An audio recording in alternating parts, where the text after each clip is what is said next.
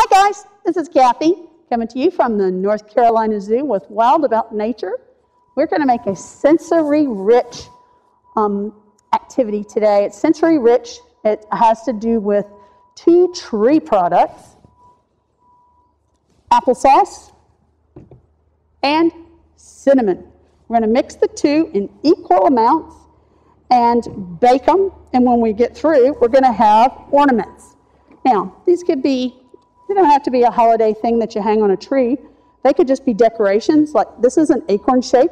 So in the fall, you can make a garland out of them, um, paint them with different colors, put people's names on them, even take an acorn and make the imprint, um, you know, because the, the cap of the acorn has bumpy texture. So you can do that when you're ready for the decoration stage. Or you could make it holidayish, you know, with stars and, and a little glitter glue paint. Different ways you can decorate them. But first, we got to mix our two ingredients, both of which come from trees. As you know, applesauce comes from apples. And did you know cinnamon is actually tree bark? There's a group of trees, they don't grow around here, in the cinnamomum family, and this is from their bark. So, not good to consume in mass quantities. We're going to use it for our craft. So, equal amounts. I've got a one third measuring cup, so I'm just going to use that. So, I'm going to one third cup of applesauce. Oh, plenty left to snack on later. And then I'm going to need one third cup of cinnamon, which will mean that this was not going to be tasty once we mix it. But it's good for making a craft. It's fun to kind of smell the cinnamon. Nice sensory experience, like I said. Now, oh yeah, got a big whiff of it.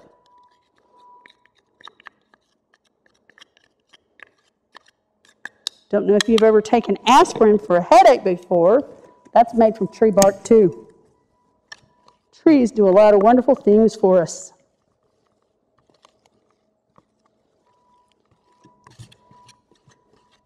I'm messy. Sorry, guys. you don't have to be as messy as I am. All right, so what we're getting, it's kind of a weird texture, but we want to be able to make it, sort of make it into a dough. So I may need, I don't know, if I can't make a ball out of this, I may need a teeny tiny bit more applesauce since it's the wet part. But we'll see. Every time I make this stuff, it's a little bit different.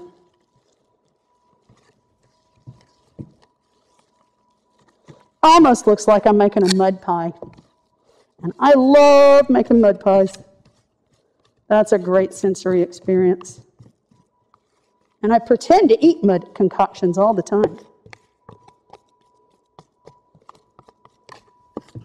Because you know what? It's healthy to pretend.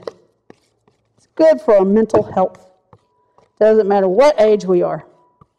Play is important, not just for humans. Animals play too. That's how little animals learn how to be Big animals. We have a sand cat kitten right now at the, at the zoo in our desert exhibit. And I'm going to tell you, it plays all the time. And Mama Sand Cat plays too. And normally, before Kitten came along, we didn't ever see her playing very much. But she knows that is how her kitten is going to learn to be a cat, is through her and play. All right, see, I looks like I've got a great mud ball. Now I could throw it on mud target. No, no, no. This is my applesauce and cinnamon craft. Now, I have a silicone pad because, you know, being messy, I'm putting it down on that. I'm kind of patting it out, making a bigger mud pie thing here. But before I roll it with my rolling pin, crucial thing, because this is, you see what's doing in my hands, right? It's going to do that to the rolling pin. And that's not going to be fun. It's going to be too messy. Too messy for me. So I'm using some parchment paper.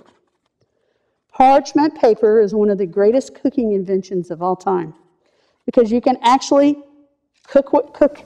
You can put it in the oven under a certain temperature, it's compostable, and it keeps my applesauce dough from sticking to my rolling pin. It's great. If you don't have parchment paper, but you got wax paper, pretty much do the same thing. Um, and you can use plastic wrap for covering. Can't cook it though. But now I got my parchment paper on my little, looks like a big old mud pie. I'm just going to flatten out my concoction here. Again. Now I am ready to make some shapes. So I've got my uh, cookie cutter here. Hey, and if you don't have cookie cutters, it's no biggie. You could take a glass upside down and make circles and then put thumbprints in them. You could take nature things and put imprints there. But I'm going to make a star, see if it'll come out for me. This is the tricky part because this dough sometimes it's kind of tricky. But I'm going to see. I'm going to see if I can get a star to come out of here. Oh, you guys hear that in the background? There's a woodpecker clucking at me. We have a suet feeder here at the end of the treetop trail. This is not going to want to be nice, I don't think. Oh, maybe, maybe, maybe? Okay. And he's clucking at me. He wants to get to the suet feeder. I'm not crazy about people being out here near his, his bird feeder. All right, we have a star. Not perfect, but you know what? Doesn't have to be. There we go. This is my cookie sheet because we're going to have to bake these to make them work, to make them hard so they're not like gooky forever. So, grown up, please, preheat your oven to 200 degrees. They're going to need to cook in a 200 degree oven for two hours. So, grown up, set your timer. Definitely need a grown up for this part of the activity. And lots of patience for getting the shapes and some, someone was asking me, can you cook parchment paper? You can. So, you know what? Making the shape on top of the parchment paper and lifting the parchment paper and putting that in the cookie sheet, I think is a smart idea. So I think I'm going to try that. You can cook parchment paper in the oven. Where's the degrees? Up to 425 degrees. So, since we're only cooking at 200, we can actually make our shape on the parchment, cook it on there so it doesn't get all messed up. Let me make my big dough ball again. Lay some parchment down, put this on top of it. Got another piece over here.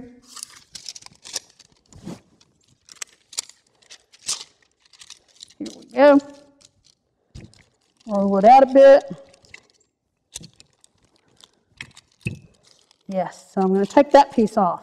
I'm going to leave it on that. So maybe my star will be prettier. Maybe. Maybe if I do this. Here we go. Yeah.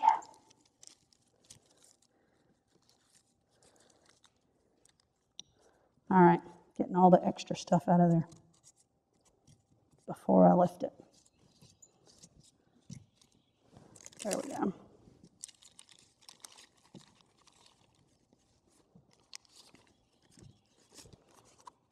All right.